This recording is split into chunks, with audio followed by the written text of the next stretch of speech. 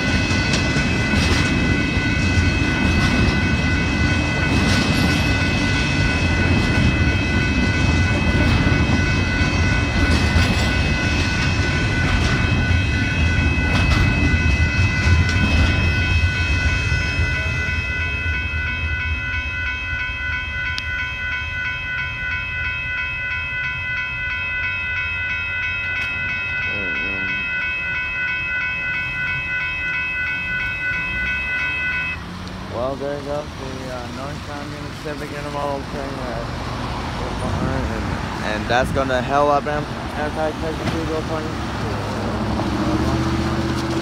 Well, let's see if I have my.